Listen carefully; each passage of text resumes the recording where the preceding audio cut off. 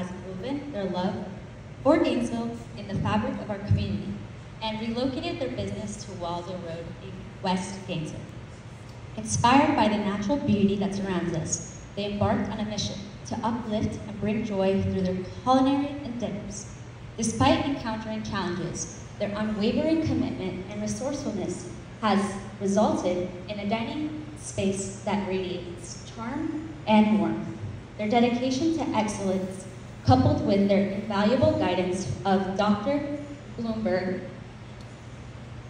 project manager of GCRA, has transformed their vision into a reality, serving as a shining example of the hidden beauty within our community. Tonight we celebrate not only the, their achievements, but also their enduring impact on our dining landscape. Please join me in congratulating Sublime Tacos Drive-Thru for their outstanding contributions to beautifying our city through their joy of dining. Congratulations.